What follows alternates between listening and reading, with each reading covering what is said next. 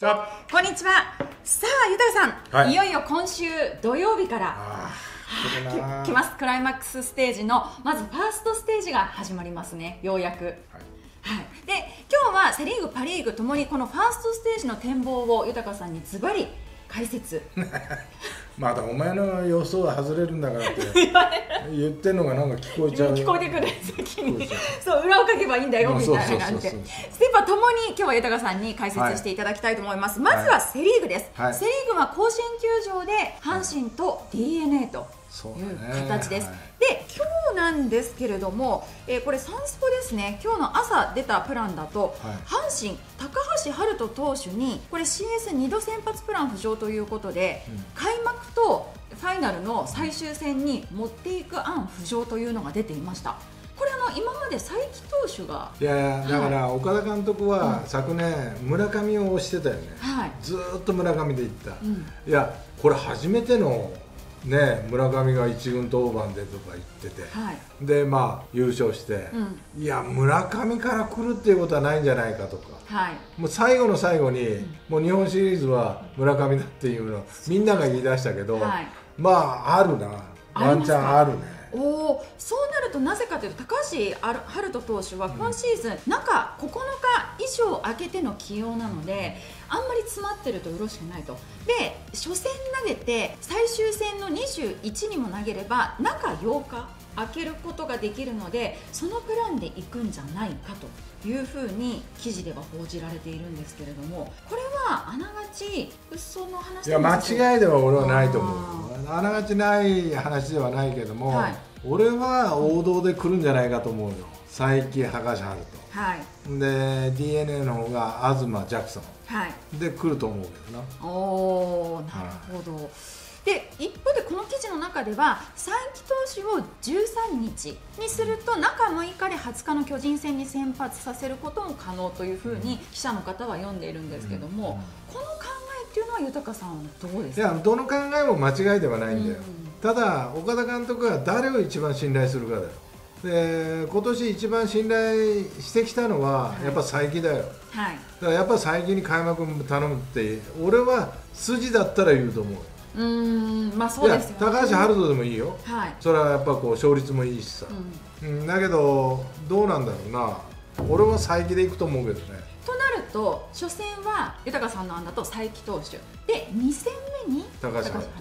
これ3戦目となった場合はまあビーズリーか、まあ村上は俺第二先発で中入れると思ううんんだよ、はい、ビーズリーか西かこれ大竹選手っていう案も今出ていてこれは大竹選手第3戦というのはどう考えますか、まあ安定はするけど捕まった時には早いだろうなっていうような、うん。まあ、そんな不安があるんだよね。はい。だから2戦しかないじゃない。はい。でまあ多くて3戦でしょ。だからやっぱこう1回しか負けれない。っうん。ていうことを考えると大竹は巨人戦に回すかなっていうなるほど。となるとビーズリー投手か西勇輝投手をもしかしてのまあ、西勇輝っていうよりも俺ビーズリーかなっていうような気はするけど。ね結局3戦目までいったら勝つか引き分けるかしかないわけですよね、うん。まあそんな感じがするけどもね。なるほど、うん。だから春と開幕。まあこれもありだよ。いいと思うよ、はい。うん、ただ投げ合うのが東はい。多分東から来ると思う。おそらく出てますね予想では、うん、だから俺はやっぱこういろんないいピッチャーと投げ合って勝ってきた佐伯かなっていうふうということは、まあ、佐伯投手と東投手のまず1戦目投げ合いが始まると。で2戦目が高橋遥人投手とジャクソンに、ですかね。で3戦目がやっぱビーズリーとケイとか。敬意があるかどうかなんだよね。でもいろいろね登録抹消してんだよなそうです。DNA がなんであんなに抹消したんかなと思うぐらい。はい。もうそんなに状態が悪いのかなと思うぐらい、うん。でも勝ってんだけどね。うん。勝って高騰してるピッチャーをあれしてるんだけどまあそんなにはいらないというね、あのファーストステージはうん。ピッチャーが、だからまあ抹消したのかもわからないけども俺のプランで言えば、はい。第3戦、もうもつれた時には松本はいはい。お。中日戦で投げた横浜高校渡来と同級生と、はいあのピッチャーって阪神全く知らないんだよね、データないですね。いやだから面白いなと思ってたんだよ、はい。でも抹消されてるから投げるチャンスがないんだよね。隠し玉としてそれもありなんじゃないか、うん、ありなんじゃないかって。悪ければすぐ帰ればいい話だし、はい。まあそれだけの度胸を持ち合わせてるのかなっていうふうに思ったから、うん。こうもう一か八かでは行くかなっていうふうには思ったけどそれのプランもないよい抹消ですからないですね。だからまあ K とかいわゆる王道で行くっていうことですね、まあまあそうだね。王道っていうかローテーション通りに、うん。まあ、行くっていうようなことだよね。そうですよね。でその場合行った場合その東投手左。で今までだと前川選手はあの外されて、6番ね。はい、来てましたけれども今回前川選手左でもどうやらスタメンで行きそうというふうな記事も出てたまあ行くかもわからんけど、は井上が、は東からホームラン打ってんだよね。スリーラン。スタジアムで。はい。だからここら辺をどう見るかだよねだから大事なところで代打っていう可能性もあるし、かはい。まあ、前がもうもう左も苦にしないだろうしね。そうですね打率的だからにはまあそれは行ってもいいなとは思うけどね。となるとこのファーストステージでそれぞれ d n a それから阪神キーになってくる選手っていうのはいますか？あとは勝つんだったらこういうことでポイントだよお互いにっていう。まずやっぱ甲子園ということがあるよね。はい、でお互いの守りっていうのが不安定なんだよ。うん。d n a が90個以上。はい。阪神は80個以上エラーしてるんだよね。シーズンで。で土のグラウンドになってくるでしょ、そしたらやっぱこう守りがやっぱ重要にはなってくるなっていう。うん。その血のりという意味では、はい。阪神の選手の方が大きいよね。はいだから、まあ、そこら辺が、まあ、一つのポイントだとするよね、はい。あとはね d n a の方は山本がはい。いないからキャッチャーだよね。はい、伊藤光を使うのか戸柱を使うのか。うん、っていうこともあそうですね。それとも変わる変わるにするのかとか、るそれじゃなかったら足を絡められるしな。はい、だどちらかというと戸柱の方が安定感は現段階ではあるかなっていう感じがするんで、うん、はい。まあ戸柱っていうね。キャッチャー。ってなると阪神はキャッチャーは？いやそれはもう梅ちゃんじゃないの。主戦は梅ちゃんでいくと。うん。うん。視線は梅ちゃんでいくと思うんうんうよね、で臨機応変に変えるというはい。手はあるけどあとはやっぱりずっと言われてたのがその阪神はその牧選手、宮崎選手、オースティ選手にやっぱり一発を食らうケースもあるのでずっと岡田監督はそのバッテリーの采配入り方っていうのをずっとまあね。おっしゃってましたけど、まあいろいろあるけど、まあ、甲子園だから、はい。そんなに打ち合いにならずに、うん。俺接戦になると思うんだよねそれ例えばロースコアでの接戦とかまあロースコア34点かな、うん。34点をロースコアというのか、はい。言わないのか、うん。これ難しいけどもそうだな。接戦になったら阪神だな。まあ、血のりということもファンも、うんその独特な雰囲気もあるしね、はい。だから、まあ、阪神が有利かなというふうにはちょっと考えるけどまあ、d n a の方はその今言ったオースティンだとか牧だとか宮崎だとか、まあ、佐野とかね、うん。それを引き立たせるのははい。やっぱ梶原だよ。一番のはい、梶原が出るか出ないかはものすごく大きい。うんこれはやっぱこう足が使えるということとはい。スピードがある。でオースティン牧佐野宮崎ってなってくるとヒットの本数が1本多くいるよね。はい帰ってくるの。にうん。だから梶原が出るか出ないかっていうのはすごく大きいし、はい。出す出さないはすごく阪神にとっても大きなことだとそうですよね。しかも梶原選手出しちゃってもうすぐに今2番が牧選手なのでずっと嫌なバッターが続いていっちゃうっていうのも。ね。うん。で中継ぎで言えば中川はい。颯、はい。アンダースロー。はい。ここをどううまく使うかだベイスターズ側がですか、な、うん、だから森下大山って並ぶんだよね。打順的には。右右が、これやっぱり左になってくるとちょっと打ちやすいっていうことが出てくる、うん。まあ、その後に佐藤輝が待ってるから、はい。だからここをどう使っていくか。うーん。中川をね。投手交代ってことですね。やっぱりポイントゲッターとすれば森下であり大山であり佐藤輝だから、はい中川をどう差し込んでいくか、うん。ここがやっぱり一つのポイントだと思うし、はい。その次に行った時に左にうん。佐藤輝に誰を生かすかそうか。佐藤輝のとこ行ったらディアスを差し込むとか、はまあ、坂本でもいいし、うん。だからここら辺がうまく系統できるといいよなっては思うねベイスターズの逆に今度守護神クローザーっていうふうになってくると、ここは、まあこれはもう森原に任すしかないよね、うんうんもうここまでやっぱこう信頼して使ってきたわけだから、はい。だからまあそこら辺は信頼するしかないかなっていうふうには思うけどもね、うん、となるとベイスターズの鍵になるのはやはりその投手中川投手をどこに采配としてはめ込んでいくのかっていう,、そして梶原選手をいかに出すかですよね。一方、阪神、まあ、阪神の方は、はい、やっぱ中継ぎって言っても俺は桐敷し、はい、まあ、村上が1枚加わって、うん、あと岩崎、はい、ゲラ。これしか使わないと思うんだよ。富田投手と岡留投手。いやいやもうそんな使ってるようじゃもう負け試合だよ、えー、そうなってくるとやっぱ佐伯と高橋遥人で、はい、多分順番はともかくとしていくと思うんだよ、はい、5回、6回までは絶対行ってくれるピッチャーなんだよね、うん、2人とも、はい、そんなに崩れないと思う。んだよ、うん、そこからそんなにピッチャーいるか、桐敷、石まあ、村上もそこまでいったら使わないよ、多分。あショートでは、はい、ゲラと岩崎、うん、この4人いたら4人でしっかり仕事してくれって思うよ、うん、あと他の余計なピッチャーは勝ちゲームではいらない。でも1イニング1イニングでいってほしい、そのワンポイントで使うとかそういうい。やだから左がもう1枚加わってくるかなというね、うん、そこに。まあここはあるけども、うん、じゃあ誰ってなると。島本まあまあそうだな、うん、まあそこら辺かもわからないけど、はい、でもそんな大きな冒険はしないと思う、うん、だからまあそんなには阪神の場合はピッチャーいらないかなっていう。となると d n a よりかはピッチャー的に有利なのは阪神ってことになってってくるんですか、いやそんなこと有利かどうかは分からん。やっぱ東だってさ、はい、クオリティスタートを32試合連続でやったピッチャーだけに、そんなに崩れるピッチャーじゃないよ、うん、6回までは行ってくれると思ったらそんなに多くはピッチャーいらないし、うん、まあ、ジャクソンだってここのところ調子がいいしね、はい、だからそんなにはいらないと思う。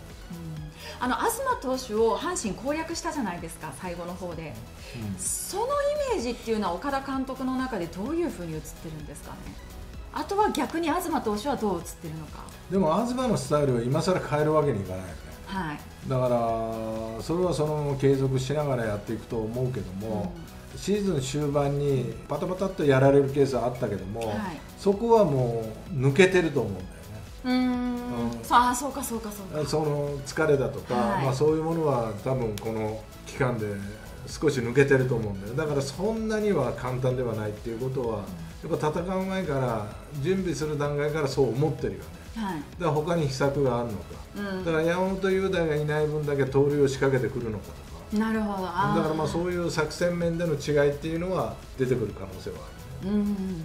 あとはその野手的には阪神はどういう攻撃をしていきたいやっぱね里照だよ。どう考えたって里照のところにランナーたまる、はいうん、だから里照が打てるか打てないか。俺は里照は短期決戦の方が向いてるバッターだと思ってるから、はい、だからここら辺で集中力マックスでいけば、うん、里照がポイントになるし、はい、里照が結果を出すんじゃないかなっていうような気はするけどね。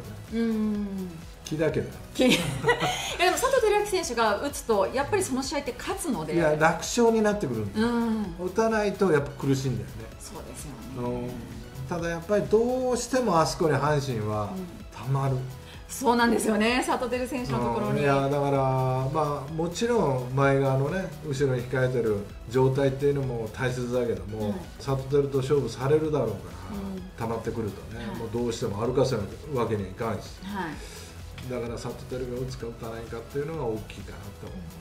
あとやっぱりセ・リーグなのでどうしてもピッチャー交代のところで代打っていうところが両チーム来ると思うんですけどこの代打はベイスターズと阪神っていうとどうなんですか？厚み的には。いややっぱり阪神の方がキャリアがあるな、はい。うん、まあ、例えば速いピッチャーで右ピッチャーであれば糸原っていうのがいる、はい、これはやっぱり速いボールに対しての対処が抜群にいい選手だよね。うん、で左で言えば原口がいる、はい、これもやっぱキャリア長いしさ、うん、経験値があるね、はい、だからそういう意味ではすごく心強い人たちがまずそうですね。あとと鍋量がそうですね。そうですよね、だからこれはやっぱりちょっと DNA よりは充実はしてるかなとは思う DNA になると例えば筒香選手であったりとかになってくるんですか、ね、まあ、筒香であったりだとか、まあ、関根であったりとか、はい、ただ関根はなんか守備固めっていうふうに考えてるんだったら、うん、まあ、温存っていうことにもなるだろうし。あと京田選手とかはどういうまあそうだな。なるんですかね、まあ、森圭斗選手でいくのかなって気もすするので。まあまあ強打でもいいし。ん。だだけどまあ阪神と比べるとね、はい。やっぱ専門という面ではやっぱ阪神の方が一番上かあとダイソーという意味ではどうですか？ないやそれは全然違う。阪神ですそれは全然違う。うん。まあ熊谷選手まあでもはい林とかね、まあ、関根もそうだけども、うん。d n a も揃ってないことはないけどもちょっとレベル的には阪神の方が上かなっていうのがあるんですよね。走塁という意味ではね。はい、あとは仕掛ける。うん例えばエンドランだったりとか盗塁とかそういった部分ではどうですかね？いやそれはもう阪神の方がうん。やっぱ仕掛けどころだとか、はい。まあ、そういうのはまあしっかり仕掛けてくる、うーん。あの今年ちょっとね盗塁がセ・リーグ少なかったので、まあそうだな、うん。阪神がちょっと少なかったな、そうですよね、まあ、近本選手が出た場合中野選手を、まあ、やっぱりバントだったりとかなんかエンドランいだったりとか。やバントをできるようになったっていうのはやっぱクリーンナップがうん。状態を上げたから、もうそこに任そうっていうようなことになったんだよね、うん。だからまあ入りは多分そうすると思う。うんただやっぱこれ状態があんまり良くないなと思ったら、はい。足を盛んに使ってきたりだとか、はい。まあいろいろするケースは出てくるだろうな。やっぱりそうね、さっきおっしゃってたやっぱり山本優太捕手じゃないだけに、やっぱそこら辺足はちょっと使いやすくなってくるのかなでまあそうだね。ただ戸柱の方もまあ健在だわ。やっぱいいわ、うん。うん。悪くはない、うん。うん、だからそんな簡単ではないとは思うけどね。で d n a でいうと走るというとやっぱりその一番梶原選手ですそうだよ。こだけですかねまあそこだけと油断してたら牧も走るし、ね、あそうかそうか、うんだからこういう短期決戦の時っていうのは隙見つけたら行くと思う牧は。あそうなんですね。だからやっぱこう警戒しとかなきゃいけないよね、うん。さあこういった総合的なことを含めて豊さん的には何勝何敗でどちらのチームが行くと予想しますか？やっぱ血のりだな。あ血のりでやっぱ阪神だな。ー阪神。うんそれとやっぱこうミスをいかに消していくかという意味から考えるともちろん阪神は甲子園で練習してるよね、はい。土のグラウンドで、d n a が土のグラウンドを想定して横須賀かなんかで練習やってるんだったらいいけどこれ横浜スタジアムでやってるようじゃちょっと意識が低いなという、そうか。うん、っそうですね、て思うんだよ俺はね、はい。勝手に。そうだな。1勝1敗1分けで阪神でも接戦ですね。いやこれ数字見ても、はい。まあ、確かに打つ方は d n a のがうん良くて、ピッチャーはやっぱり阪神の方がいいんだよね、まあ、ホームランはもちろんその d n a が多くて、ん。みたいな。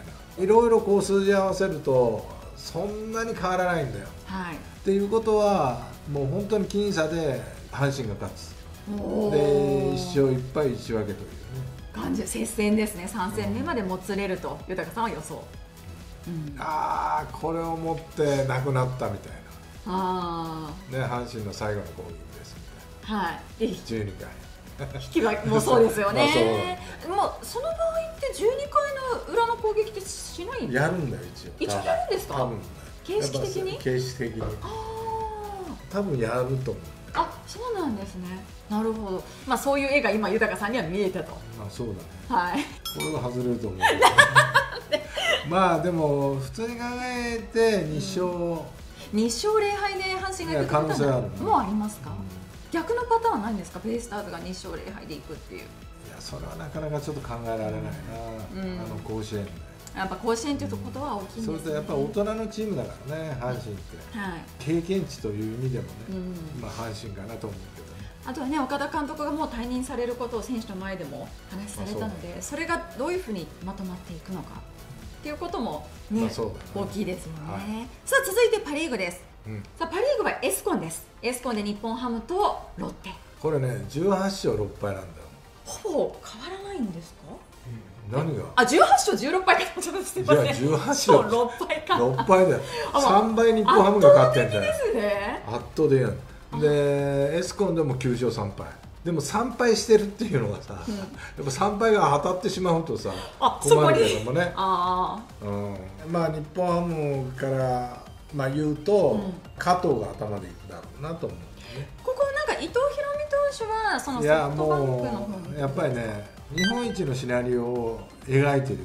はい。絵に描いてる、ということは伊藤大海をソフトバンクの初戦に生かそうといううんうん算段してるよね。これはもう相性がいいからっていうことですよろん。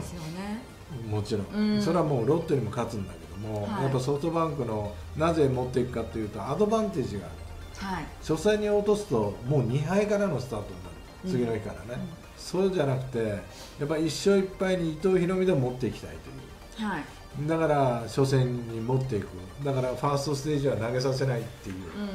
まあ、そういうプランだけどもね、はいということは日本ハムは1戦目は加藤投手でおそらく行くんじゃないか。うんまあえーまあ相性いいからなやっぱロッテに対してね、で行くと。これ23戦目っていうのはどういうふうにしてくるんですかね、俺2戦目は、俺北山がいいんじゃないかなっていう思うけどね、うんうん。やっぱ力あるよ、はい、うん、伊藤大海の代わりができるというかさ。うん。そんな感じのピッチャーだよ、はい。うん、で金村っていうのも山崎幸也もいいんだけど、金村は第二先発に入るんじゃないかなっていうような気がするんだよ中の方にですか？でね金村が投げると援護点がないんだよ。あだからそういう運っていうのまで考えてしまうと、はい。俺は北山幸也。ーでいきますかね。で行きたいなって思うんだよただその山崎幸也投手がやっぱりそのオールスターの前後あたりからなかなか調子がまあでもっていう。2桁っていうか、勝ってるからね、うんある程度は投げてくれるよ。うん。3点以内で、はい。でも3点勝負になるかなと思うと、相手ピッチャーによってはそんな勝負にならないんだよね、うん。2点勝負になるんだよ、だからちょっと2点勝負だったら俺北山だなと思うんだけどね、はい、一方のロッテはどういうふうに？ロッテは小島は鉄板で頭にくると思うよ。はい。やっぱりエースというね、うん。ピッチャーの監督ってそこら辺は大事にすると思うんだよね、うん。プライドも含めて、で2戦目だよ。はい、俺は3戦目に朗希かなと思ってたんだけど、連敗したらなんで使わんのやっていう。ファンから？ファンが SNS が大炎上すると思う。そうですね。だからそれが怖くなければ俺は第3戦に佐々木朗希投手を持ってくるんじゃないか、一勝一敗できたら止めるというね。なるほど。でも使わなかったら次のソフトバンクの頭にいけるという。まあそうですね。ううん。ん、はいだ両天秤で俺だったら俺だったらよ、はい。佐々木を第3戦に、使う。うん。で1戦目小島、はい。2戦目が谷口。もうお前にかけたはい、お前の開幕第2戦。うん。日本ハムに全く仕事をさせなかった、もうあのピッチングしか頭に映像ないはい。ということで種町もいけうん。というようなことかなと思うん。で佐々木朗希投手は日本ハムにとってはどうなんですか？うやっぱりですハマったらすごいピッチャーだっていうのは分かってるよね、うただ他のピッチャーと違って隙はいっぱいある、んはい。まあ、例えばバント攻められると厳しいということ、はい。塁に出ても牽制がないというこうん。とだから走れるということ、うん。だから組みやすしだけどもそこまで行くのに大変なピッチャーだからまずはそうですね。うん。だからそこら辺が例えばレースにフォアボール出しました、うん。痛くも痒くもないんだよはいもともと走らないから。いやだけどこれが水谷でも万波でもはい。ちょこっと走れるランナーだったら、は走ってくれるよね。そうですよね、うん。多分新庄監督もそういうサインはもちろん出しもちろんそうだよね、うん。だから、まあ、そうするけども組みやすしとは言わないけど隙は見つけやすいピッチャーだよね。うーん弱み弱点をついていけるようなはい。だけどそこまでいけるかどうかだよなはまった時に。そうですね打つっていうことが。かなか前に飛ばすのも大変なのにさそうです。でも今年の日本ハムって前に結構飛ばしてるんだよね、3.8防御率が3.8対日本ハム。あー対日本ハムに対して。3.8だ打たれてはいるんですまあ打たれてるのは打たれてるんだよ、うん。まあだけど短期決戦だから、はもう完全な仕切り直しになってくるからね、うん。うんだからこの辺がうまくいくかいかないはいだから第2戦に使われるとどうなる？ということも考えて豊さんは第3戦で両天秤。1戦目もいけるよとソフトバンクのっていうことも。使わないで負けたらやっぱり嫌な嫌だよな。言われるんだろうなファンからいろいろでも言われるの覚悟だったら俺だったら3戦目だようんまあそういうことか相性もありますしね。伊藤大海投手をもう負けられないっていうところで3戦目っていう案はそしたらプランが崩れる。そうソフトバンクへの。だって新庄監督は日本一しか頭にないから。はい。だからそこで崩れるんだったらもう先行ったって無理だうん。だから伊藤大海が日本一取るためにソフトバンクの初戦に行くことが絶対条件でここから逆算して考えてるんだから。その計算は両天秤をかけるほど新庄監督は勝負に甘くないよ。徹底してると思う。じゃあもう今から多分伊藤博美投手にはもうソフトバンクの初戦で行ってもらうからねっていうのを伝えてるってことですよね。だから楽天戦で、うんね、そうそうそうそう。まあ確かにタイトルもあったけどね、はい。まあだけどあそこでやっぱり調整登板みたいなことをさせてるわけだかはい。らもちろんね最多勝最多勝単独でっていうこともあるし、沢村賞のまあ権利というか、はいまあ、15勝というね、うん。ことを狙いに生かしたけども。まあだからそれはね中途半端なことしないと思うよ。そうか。もう第3戦に行ったら総力戦だよ。俺勝つとしたら2-0-2-0だよ。お互いにですか？お互いに。へえそれはやっぱ加藤がやられたって言ったらやっぱきつくなるよ。そうですねセ・リーグとはちょっとまた違いますね、まあちょっと違うな。あとは両チームの中継ぎ後ろって見た時っていうのはどうですか高さん的には？まあ、日本ハムの方はやっぱ抑え不在なんだよね、うん。まあ、田中正義がどうのこうのって言われるけど、はい。俺は斎藤幸也を行くんじゃないかと思う。あやっぱボールのの力にかけるというかね。はいはいはい。うん、最あの最高勇気やってもう大絶賛して。るまあまあね最高幸也ね。あのピンチ自分で広げてピンチ自分で抑えてガッツポーズっていう、自画自賛中やつまあだけど田中正義のちょっと弱気の虫が出た時に、うん。チームに対しての影響力がはい。ちょっと心配になるしね、うん。だからそういう意味ではその斎藤幸也にかけた方が、うん。まあいいのかなというような気はする、まあ、それはもう新庄監督が決めるわけだから、うん。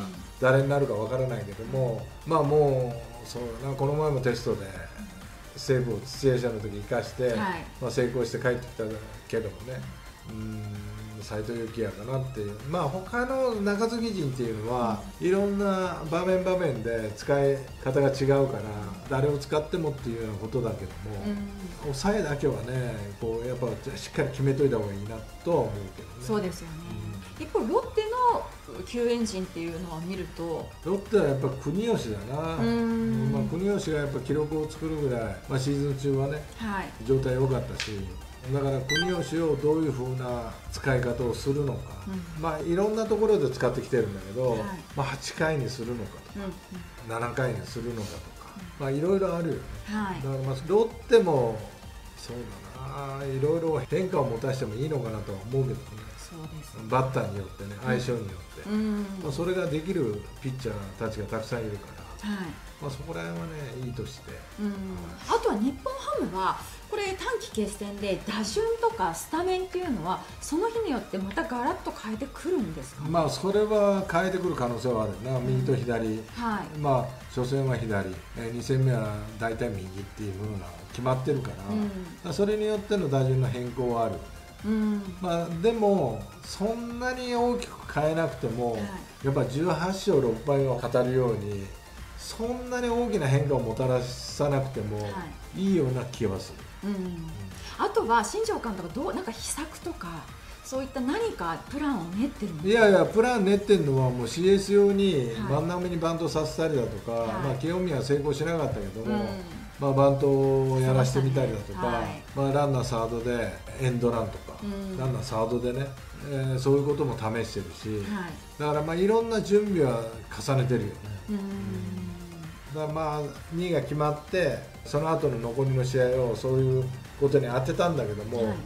そういう動いた作戦っていうのはあんまり成功しなかったな。ああそううん、いやだけどこれが緊張感が高まって、クライマックスってなってくると決まってくるのか、うん。それとももっと悲惨な目に遭うのか、はい。これはどうなのかなわからないけども、うん。でもやろうとしてることはやっぱ細かいことから全てこうポジショニングだとか、はい。いろんなことはやってたから、まあ、準備はもう出来上がってきてるそうですね。はさあロッテそして日本ハムそれぞれキーマンというか挙げるとまあ、ロッテは打者のことをまだ喋ってないと思うんだけど、あの藤原あはい藤原選が非常に日本ハム戦に打率がいいんだよね、うん。相性がいい。で岡も悪くはない。手はい。普段岡と藤岡が12番を組むケースが多いんだけども、はい。藤岡を組ますよりは、うん。藤原で組ました方お。が足が使えるいわゆる岡選手藤原選手ってそうだねことですか？まあ藤原岡でもいいんだけどもあジグザグを組みたいんであれば、はい。3番にポランコを出すんだったら藤原1番でもいいよね、ーうんうんうん。で岡2番。はい。でポランココ。外ってなってくる、そしたらジグザグが組めるというね、はい。だからそうだな。藤原をどう生かしていくか。うん。これが一つの俺ポイントを握ってるような打線の中ではね、はい。そう思うけどな、うん。一方日本ハムがキーマンっていうと誰なんですか？ね日本ハムのキーマンな、浅間、浅間選手、浅は間がねロッテ戦には意外とね率がいいんだよ。でー。松郷があんまり良くないんだよ、はい。ロッテ戦、だからここら辺差し替えてくる可能性があるよね。これあの全部の例えば3戦あったら3戦とも浅間選手で、可能性がある。でこの前最終戦はい。使ってんだよ。そうですねで3浅間選手。本打ってんだよ、左でも使ってんだよ。うん左が途中で出てきてもそれでも結果出してんだよ。だから浅間を入れたいな上位に。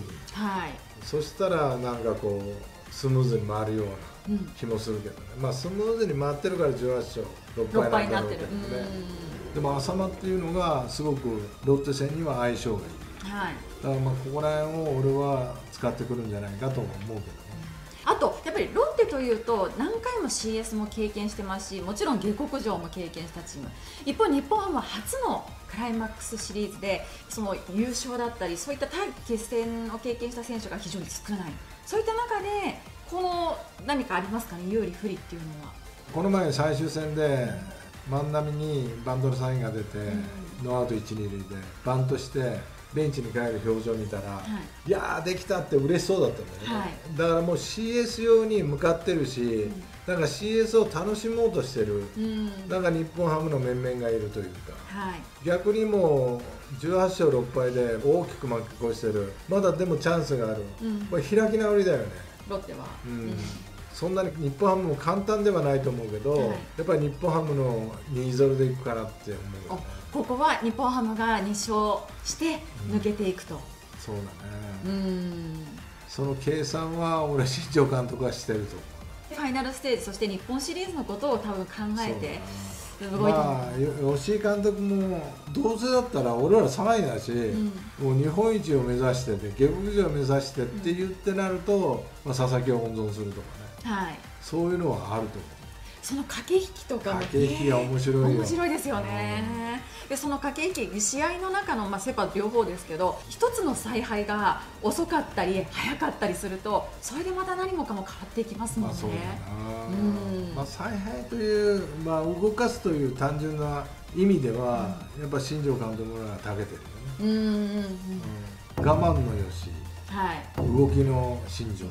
なんか動と静っていう感じですよね。まあいいやーセ・パともに今週土曜日から始まりますけれども、ね皆さんの応援するチームがさあファイナル進めるのか。